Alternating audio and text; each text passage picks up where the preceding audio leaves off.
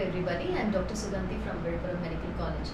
Uh, today I'm going to speak about uh, a little about acne in, uh, in order to create awareness about it. So what is acne? Acne is something very common that we get to see every day in our uh, clinical practice. So acne uh, is actually uh, not a disease per se. Uh, it is more of a physiological change in the skin. But then why should we even bother about it or what is the problem with it?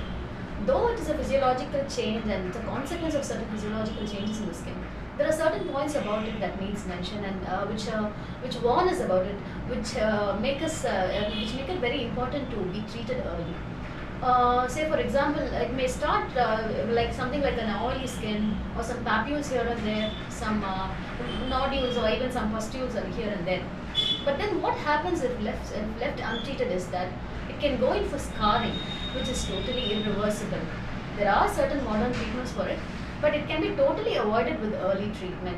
So it is very important to catch it very early and uh, treat it. And there are even uh, much more uh, better uh, treatment uh, treatment modalities and creams which can even suppress the oil, uh, the amount of oil that is the sebum that is secreted in the skin. So when there is so much medication available, what is very important is we make use of it. We, we hear about a lot of home remedies for acne, but uh, it's really not uh, appreciable.